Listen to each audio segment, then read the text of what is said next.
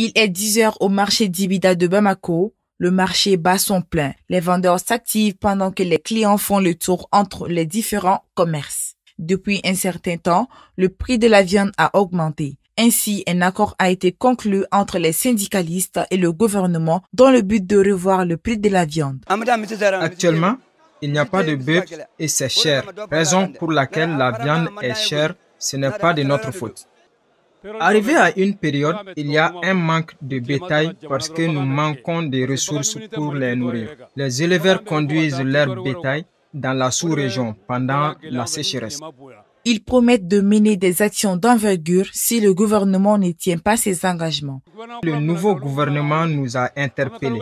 Lors de nos échanges, ils ont décidé de subventionner le bétail en donnant 45 000 francs sur le prix de chaque vache.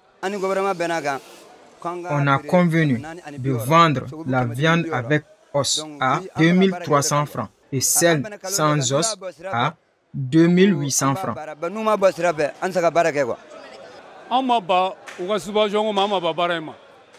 On n'a pas refusé la subvention et on n'a pas refusé de travailler, mais c'est l'argent qui fait défaut.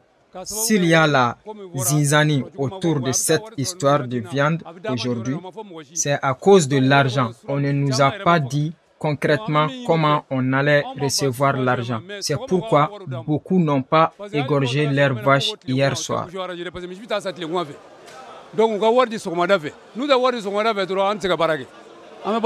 Le gouvernement et les syndicats des bouchers doivent s'entendre pour régler cette question soutient ses citoyens que le gouvernement veille à respecter les engagements qu'ils ont pris auprès des bouchers pour que eux aussi puissent travailler de façon convenable parce que la facilité et la situation est entre nos mains. Retenons que le prix du kilogramme de la viande avec os est fixé à 2300 francs CFA et la viande sans os est fixée à 2800 francs CFA.